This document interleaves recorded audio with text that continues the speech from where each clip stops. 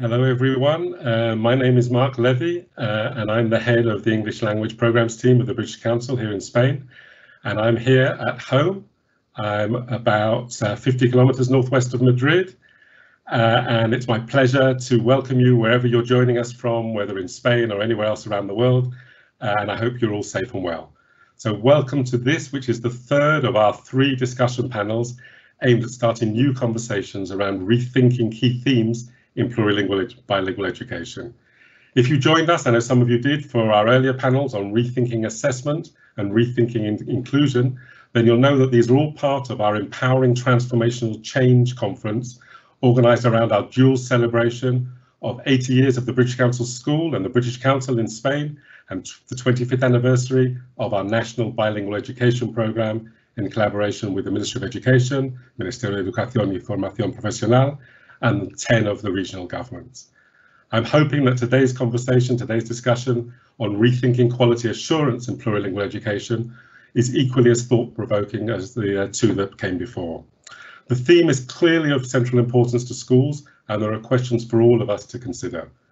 I think we probably all agree that schools should and mainly do try to offer the highest possible quality of education they can to their pupils. But what do we actually understand by quality? And do we share that understanding, not only between schools, but even in schools and within our own school? What steps are necessary to ensure that we understand the impact and the success of our schools? And how can we celebrate and build on what is working and focus effectively on what we could be doing better? We're lucky to have another three GATE panelists with us this afternoon who'll give us their thoughts on these questions and hopefully more. But before I introduce them, let me just tell you a little bit about how it's going to work. Um, There'll be two parts to the session. So first, I'm going to ask each of the panelists to present for a few minutes to an, on an area related to the theme. And after that, we'll move to questions and answers. For the Q&A, I've already got some questions that some of you have um, sent in in advance when you registered, but we'll also be taking questions during this live session. Um, so if you do have a question at any time, please use the Q&A function. You should see a little box or a speech mark with a question mark, and can you open that and can you use that to write any questions? You can either write to all of the panelists or direct your question to any one. That's up to you. And if you write those, those will be those questions will be passed on to me and I can choose and ask some of them later on. My colleagues behind the scene, Maureen and Rebecca, are looking at the Q&A today, and they'll also be uh, posting there links maybe to what people are saying or other things that are of interest that tie in with the theme. So do keep that Q&A open. Right, so let's move on to the reason that we're all here, and I'm delighted to present three very distinguished panelists with us for this conversation. You'll have seen their full biographies on the website and on the information we sent out, so I'm not going to read through everything again, but I would like to briefly introduce them. The first person to speak will be Catrin Redknap, and she is Principal Research Officer for the Welsh Language and Welsh, Welsh Government, and she's joining us from Cardiff, her role is one which involves leading the development and delivery of a programme of research and evaluation to support the Welsh Government's strategy for the Welsh language. And Catrin will then bring, obviously therefore be bringing to our conversation insights from the experience of a different plurilingual context to the one we have in Spain. Speaking after Catrin will be Mercedes, Mercedes Hernandez, who's the head of our British Council School in Madrid, uh, and she's joining us from the school uh, in Somosaguas and she'll also be bringing with her 30 years of experience in school leadership in the UK. And the third panelist is Sara Pampin, uh, who's head of the Emilio Ferrari Secondary School in Valladolid, uh, which is where she's joining us from.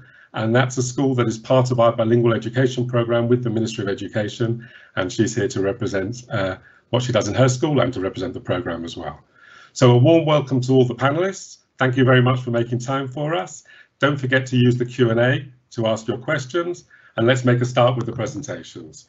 So I'd, to, I'd like to ask Catrin first to talk to us about quality assurance in the context of plurilingual education based on the Welsh medium experience. Thank you, Catrin.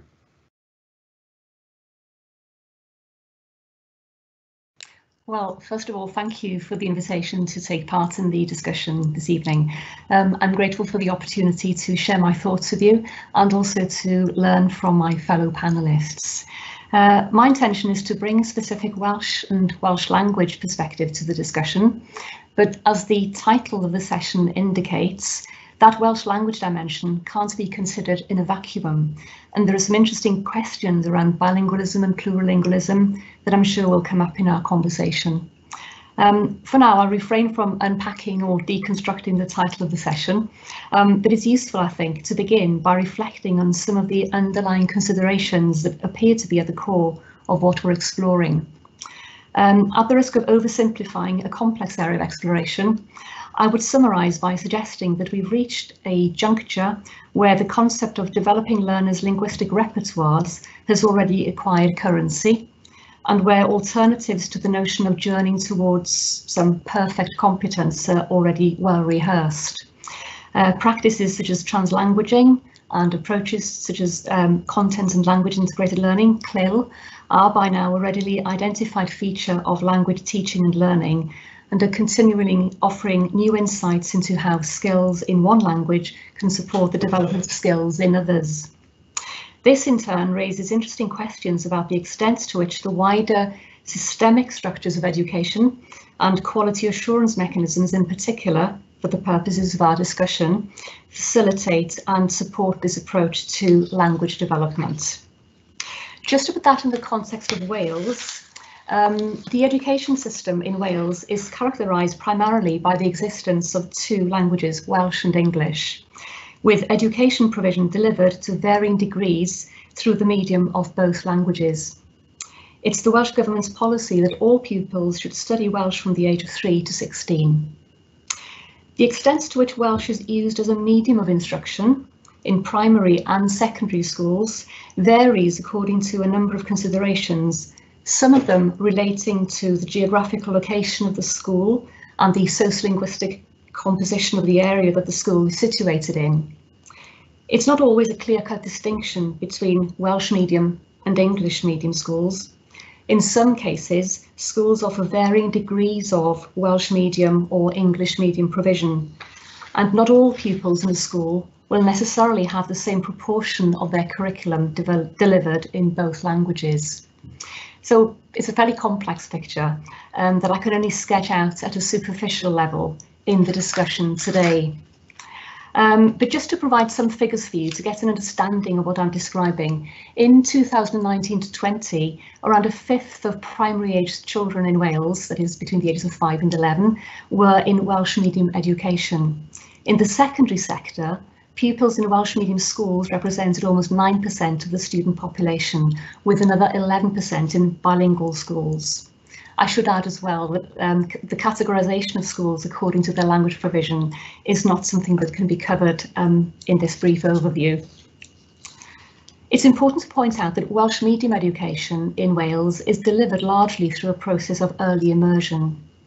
The precise nature of the immersion model varies according to the linguistic circumstances of the learners, but one feature that needs to be mentioned is the fact that learners, regardless of their home language, all undertake their learning in the same Welsh medium classroom setting. Well, the situation I've just outlined sits within the wider education policy in Wales. One of the links I provided will give you more detailed explanation if this is something you wish to pursue. Um, it also sits within a wider language policy framework. The Welsh Government's strategy for the Welsh language, Cymraeg 2050, um, has as its vision reaching a million speakers by the year 2050. And in 2011, the last census, 562,000 people aged three and over were able to speak Welsh. That's 19% of the population of Wales. The strategy also includes a target relating to Welsh language use, namely the percentage of the population that speak Welsh daily and can speak more than just a few words of Welsh is to increase from 10% in 2013 to 15 to 20% by 2050. The first theme of the strategy relates to increasing the number of Welsh speakers. So the education system and the focus on early immersion and Welsh medium provision is considered to be central to the realisation of the strategy's aims. But Welsh medium education and the aim of enabling learners to become users of Welsh and English in their daily lives can't be seen in isolation. Learners in Wales also study other languages, modern foreign languages, in school. The Welsh Government has recently issued its plan to improve and promote modern foreign languages in Wales, Global Futures. As part of a much wider process of curriculum reform in Wales that's currently underway, all aspects of language learning and acquisition will be approached within one area of learning and experience. And that sets out the expectation that all learners will learn at least one international language from primary school. By bringing together languages, literacy and communication within one area of learning, the aim is to enable learners to communicate effectively using Welsh, English and international languages and to encourage learners to transfer what they've learned about how languages work in one language to the learning and using of other languages. So from this brief overview, I hope I've been able to put across the key features of how languages in education are approached in the Welsh context. I'm sure the discussion later will provide an opportunity to explore in greater detail some of the questions that can come to the fore when this is placed in the context of plurilingualism and quality assurance. So that's all for me for the time being. Uh, thank you, Mark. Thanks very much, Catrin. And uh, that's the first uh, use of Welsh in our in our panel so far as well. So well done. Thanks very much. Okay, uh, let's move on now to, uh, we'll come back to obviously to those themes later on. Uh, next we'll move on to Mercedes, who's going to explore the question of why schools should want to be involved in their own quality assurance. Thanks, Mercedes. Thank you very much, Mark, for the introduction. And, uh, you know, thank you to everybody who's joining us for this discussion. Um, if we could put the presentation on. Um, I wanted to start with uh, um, uh, exploring uh, why we should be uh, involved in quality assurance uh, in schools. Uh, and uh, I believe, as somebody who has been involved in education and is passionate about learning, that um, the desire to improve is an essential human quality. And if you work in education, it's also a professional responsibility. This is why the first step of quality assurance, which is around self-evaluation, uh, should be essential to the life of any school. Um, if we can move on to the next slide. I've lost the presentation now. Okay, I will continue talking. Uh, so uh, many educational systems around the world um, uh, have been calling for a, a change uh, and a change in the way um, the evaluation is done in schools and actions uh, should be promoted towards a, uh, a system that allows schools to improve from within. Uh, external uh, inspections that many educational systems have used uh, have failed to get to the heart of what the, the schools are really like and uh, have also failed to deliver in the goal of helping schools to improve through critical self-reflection. this is something uh, that uh, self-evaluation uh, and um, quality assurance that starts in the school setting will help us achieve. There is therefore a balanced uh, approach uh, and a, a, difficult balance to be achieved between um, quality assurance that is based on self-evaluation and that that is based around self-inspection. And uh, if the slide was showing, I tried to sum up some of the criteria in slide two, please. Um, some of the differences between those two approaches. Uh, whilst uh, the former uh, self-inspection uh, is rigid, it, it is based on judgment, it often is um, critical of the schools in a way that doesn't promote a desire to improve. Um, self-evaluation is led from within um, so that schools engage with a framework that allows them to make decisions and uh, to uh, identify priorities. So to offer the best possible education for learners, schools need to know how well what they are providing is serving the students uh, uh, in that community. They need to know their strengths and they also need to be able to identify the areas for development and from those areas for development will emerge the priorities for improvement. Uh, therefore, self-evaluation uh, is only effective if it's based in, uh, on a, an openness, an honesty and trust. um, balancing the desire to highlight barriers to learning um, and with the uh, and the highest standards uh, with what a school needs to be doing in order to to move up their game and to serve the students better. Within schools, therefore, we need to diagnose the strengths and the weaknesses. We need to identify priorities and we need to plan for actions. So that is a big job to undertake uh, in the schools. It's a cyclical activity and it adapts constantly to the changes uh, in the schools seeking uh, further improvements. Uh, next slide, please. I believe that a single school can achieve a lot uh, with uh, ambitious improvement plans and priorities, but experience tells us that the greatest gains are achieved through collaborative working. This is where networks are created and uh, so that schools and professionals within schools work together. Uh, they research, uh, they look at educational innovation, uh, they look at transformation, uh, and they share knowledge and practice across a wide range of, uh, of schools and stakeholders. And these collaborative networks will create a pool of ideas and resources that support dynamic exchange among the, amongst the participants and will help the schools uh, act on the findings from the quality assurance. Uh, next slide, please. So though school self-evaluation is relatively new, uh, the mechanisms that we use have been tested in a number of, uh, of countries. And the schools and their communities that they serve uh, need to develop through this process a deeper knowledge of how quality assurance processes work and how to move from just asking questions and evaluate uh, to clear strategies that allow the schools to improve. We need to consider many uh, things such as what kind of data, what kind of evidence we look for uh, and move away from the easy to gather uh, quantitative data like exam results to valuing other uh, types of evidence, more qualitative, around the experience of the students, ask the students, ask the families, and ask the community how well the school is doing. Valuing their views and their opinions uh, is really important to this process. As is as important as it as is uh, looking at students' work and the competencies and skills that they are developing. Um, next slide, please.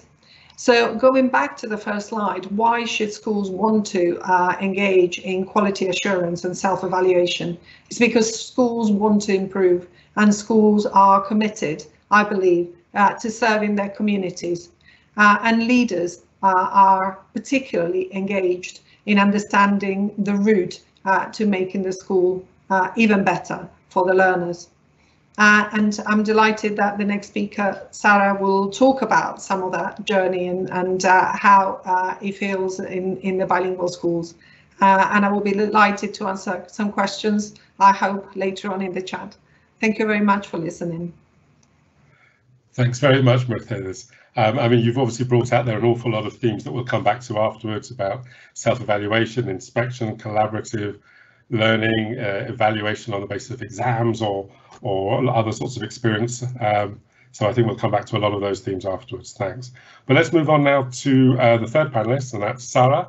And Sara's going to speak to us um, about how her team works to ensure quality in her school, and also about her experience in the working group to develop a self-reflection quality assurance tool for our own uh, British Council uh, Ministry of Education bilingual programme.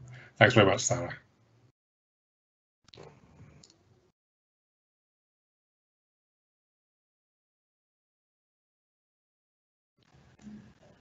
Thank you. I couldn't see myself. I think that I'm in right now. Well, first of all, I want to say thank you to the British Council for allowing our school to be part of this panel. It's an honor for us to be here representing the state schools following this program. And it's also a big pleasure for me personally to be sharing this panel with Catrin and Mercedes. And your presentations have been amazing. Well, our school, IES Emilio Ferrari, is located in Valladolid and it was created in 1969. We are currently a high school of secondary education and we have compulsory secondary education. Our students are following the normal curriculum, but they're also following some of them, the ones who decide to do that. They follow the integrated curriculum between the Ministry of Education, as Mark said, and the British Council since uh, 2006. Uh, we also have A levels and there are also four higher level vocational training courses. The location of our school means that it welcomes students from a very heterogeneous population, city neighborhoods and also rural population of nearby villages. And the types of families in each area are very heterogeneous as well, both in age and in socio-economic context. And this is a fact that can be considered as one of the positive aspects that characterize our school, as it is a focus of attraction for different types of population. Uh, this attraction increases every year. More parents uh, choose our school because of the quality of the bilingual program, because of the academic results, the variety of languages we offer, and the demand of the families towards the education of their children is really very high. So if we can go, yeah, thank you. If we can go to the presentation to the to the next slide. As my team and I have been analyzing the quality of our bilingual program, uh, not only for this panel, but also uh, in the normal uh, coordination meetings that we have, we have uh, found that it stands on the following aspects. Uh, mainly, this, first of all, it's the students' ability to communicate in the target language and, and, their high level of attainment in, in those subjects which are taught in English, which are mainly uh, geography and history, biology and geology, physics and chemistry, arts, and also the proper uh, English subject. Uh, they get very good results in external examinations that they take, such as the IGCSEs or, or even the proper results that they get in the exams that they do to, to access university. Um, we're very lucky to have highly trained teachers with a very good level of English who make the most of the qualities of the students to enhance their abilities. Uh, our teachers are always willing to collaborative work because we know the, the potential of our students. We are learning to open the doors of our classes. We are losing our fear to ask uh, to ask our class, uh, our colleagues and so on. And the methodologies used by the teachers who have been in the program for a longer period of time, they are used by other colleagues, even from other departments. Uh, we have a very high motivation in our students. And as I said before, we have demanding families who take care and time in their children education. Uh, students know where they are and they recognize the importance and the effort that they put in studying in a bilingual program. Some of them even define being in it as a way of life for them. Um, we try to encourage innovation and creativity among our students by working in different projects, which are sometimes interdisciplinary between the areas of the program. This also works for the non-bilingual students as well. So it is something that it, it is again a sign and a normal way of working of the whole school. Uh, we also try to have mixed classes. This is another of our identity signs. So bilingual and non-bilingual students, they're, they're studying, learning together from each other. And the experience says to us that both the academic results and the motivation and behavior work better in those mixed groups. And then we always try to offer a great variety of cultural exchanges and linguistic immersions because we believe that our students need those experiences to achieve their highest level. We always try to participate in as many projects as possible, such as Erasmus Plus or, or many other different kinds. But we're always trying to make things better, as, as Mercedes was saying before. So uh, moving on to the next slide, uh, we have been also very lucky to be selected and collaborate with the British Council in a working group with other primary and secondary schools from different regions in Spain. As, as Mercedes said before. Uh, the objective of this group is to design a self-evaluation tool which is adapted to the to the context of bilingual schools in Spain because we have been studying uh, different kind of tools from the United Kingdom, but we have been working in trying to adapt that to our own context, right? So as you see in the slide, we have organized this tool into five sections to analyze the, the strengths and the areas of development of, of our bilingual or plurilingual schools. The five areas, as you see there, are uh, self-evaluation for self-improvement, because we really need to demonstrate the impact of self-evaluation in relation with the progress and outcomes of our learners. Uh, the second area is leadership of learning because professional commitment to improve our pedagogy is vital. So we, we can also improve our students' outcomes through enabling them to lead their own learning. The third area that we want to analyze is leadership of change. Uh, this area focuses on collaborative leadership at all levels to develop a vision for change and improvement in the school and its community. Uh, the fourth area is leadership and management of staff, because being able to empower the staff of our school will lead to well-being and positive relationships. This is really what a successful professional team is or should be. And finally, the, the fifth area is management of resources to promote equality, uh, because we really need to analyze if the school's management of resources will lead to build a more sustainable and equitable future for all the community. So we have been analyzing these five areas. Uh, we have been trying to identify what uh, quality really means in each of these areas. And because of that, we have selected a series of, of themes and indicators, which have, as you see also in the slide, their own features of highly effective practice, and then also some challenge questions, which are uh, related with those uh, themes or indicators. And these are the questions that will help us decide whether the objectives uh, that we have in the school are fulfilled or not. Um, the main objective finally of this tool is going to be to to analyze or to discuss to to to talk among all the teachers of the schools what is happening in the school uh, uh, because we want to make it better even even if it is good and especially uh, trying to find areas that that are going to need more focus or that need to be developed or, or improved so um, I would like to say thank you to everybody who is attending the panel. Um, and back to you, Mark, to see if we have any questions. Thanks very much, uh, Sara, and thank you very much, and Mercedes as well. Just before we move on, just on Sara's point there, just for those of you who are with us, who are part of our uh, bilingual education program, we will, I will be talking about the opportunity for you to be involved in a pilot of the the tool that Sara has just so well described. Uh, so stay with us till the end and I'll mention that again as we come to the end because we're now at the position where we want to pilot that. Okay, well, thanks very much to our, our three speakers. Um, there are issues there which are clearly uh, common. I mean, we're talking about obviously uh, having clear objectives for uh, for the programs, which might be varied. We're talking about um, uh, um, a commitment of teachers and schools to um, evaluation, self-evaluation to improvement and to better learning outcomes. And then the way that obviously what we're talking about today is how to go about this and how it works at school level and at program level. We do have some questions um, that are already in, as I said, and some that are coming in uh, while we speak. So um, I think if, if you don't mind, I'm going to go. I'm going to ask them individually. I'm going to go to uh, Catrin first for the first question, but if the others want to come in, then please indicate and I'll, I'll bring you in afterwards. The first question, Catrin, is um, refers to, we've had a couple of questions which refer to uh, other languages and minority languages. So the question here that we've got is, are there additional or different issues that need to be taken into account when plurilingual, plurilingual, oh, can't speak, when plurilingual education involves a language or languages that are lesser used or minority languages. Did you catch that, Catrin, do you want me to? No, that's fine. Thank you. Thank you, Mark. Um, yeah, it's an interesting question, isn't it? Um, plurilingual education can obviously involve um, a number of different scenarios or permutations according to the languages or language varieties um, that are involved in the plurilingual project, as it were. Um, and these situations can be viewed in terms of the linguistic relationship between the languages in question, uh, their relative status as official, non-official languages in the communities we're dealing with, uh, but also the wider status and role of the languages as international languages, regional languages and so on.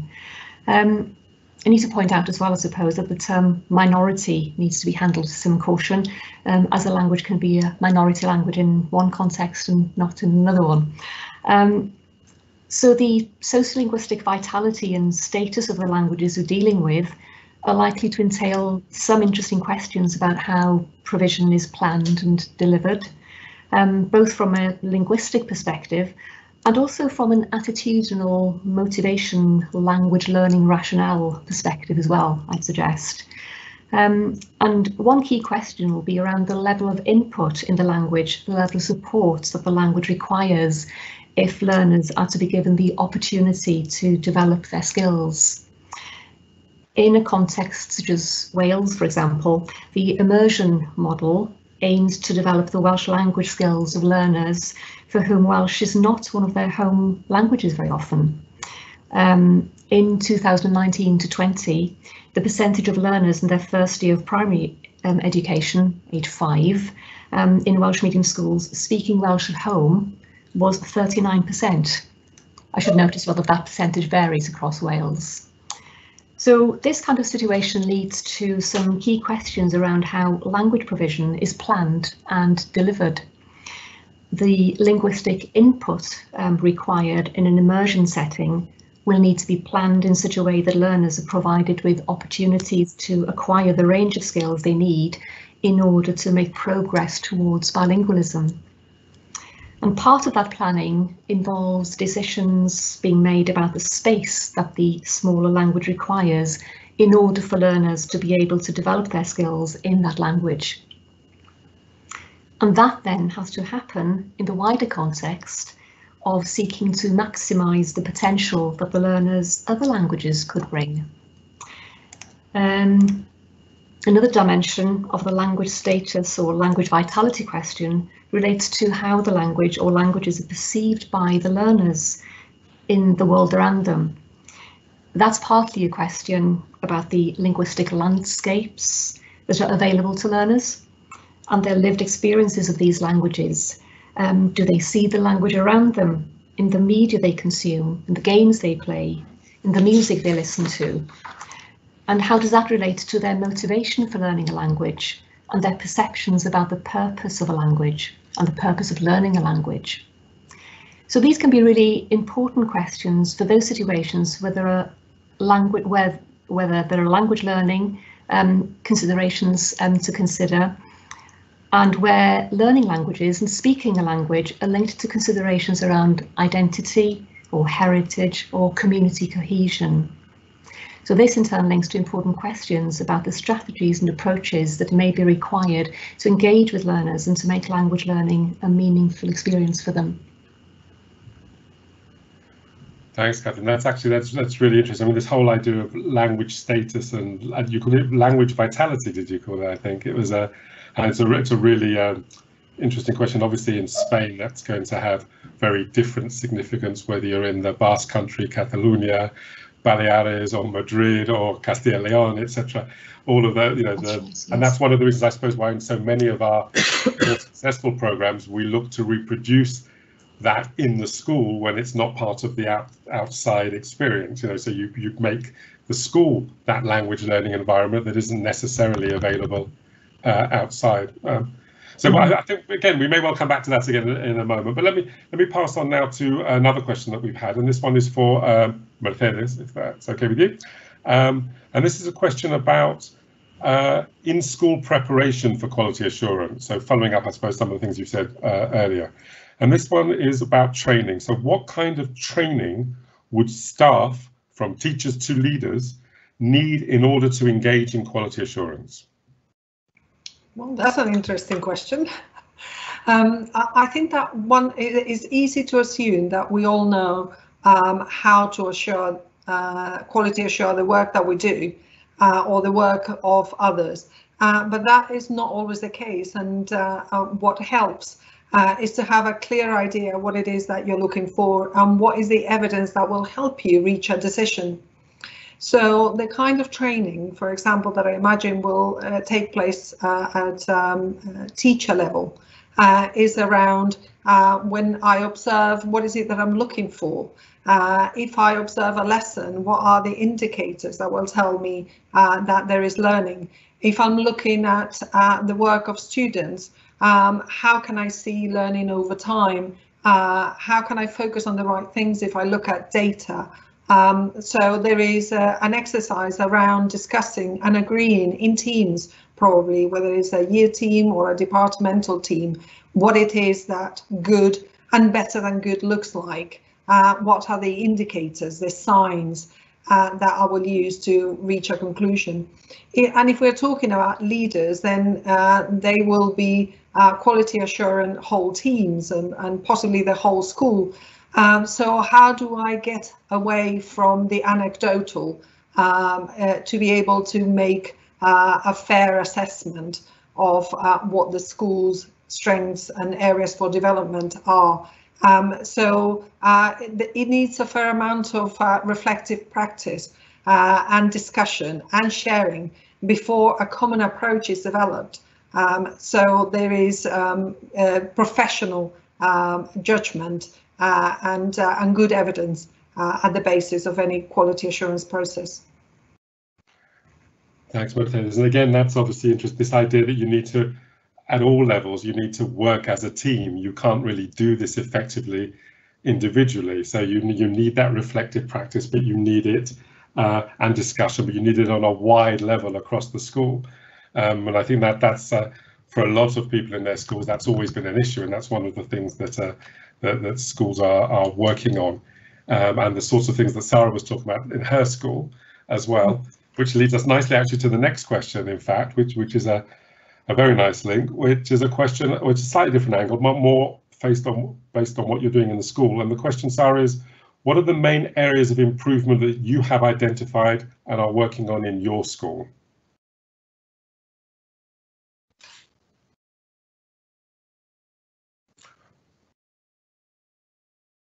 Sara, you're on mute. Sorry, I can improve in working in teams.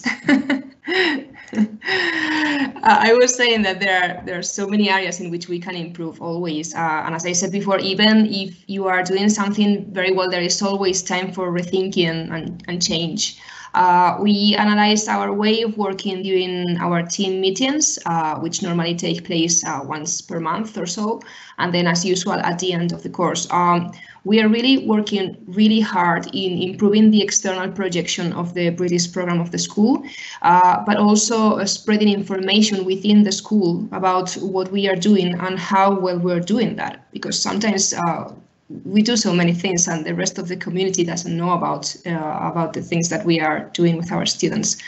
Uh, there is also a lot of work still to be done in, in generating materials uh, which are adapted to the program itself and especially the development of cooperative work among British areas uh, with uh, project works with cross-curricular activities and so on. We do it, but we really want to do it better.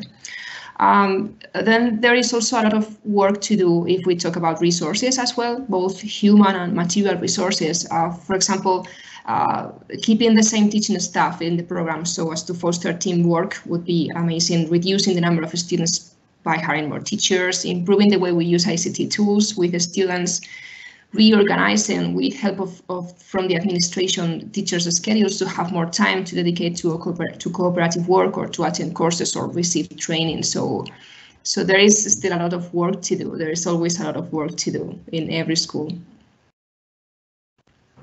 And of course, that's always true, isn't it? Because you know, even if everything's going well, it can always be better. Exactly. Um, and I think one of the things that's coming across from all of the things you're saying so far, it's not a question of saying we're not doing this well.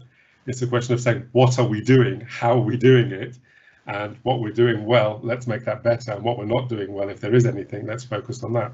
Yeah. Um, before I move on, I don't know if that was a question that you would want to answer as well about anything you're focusing on at the moment in in in your school in terms of improvement.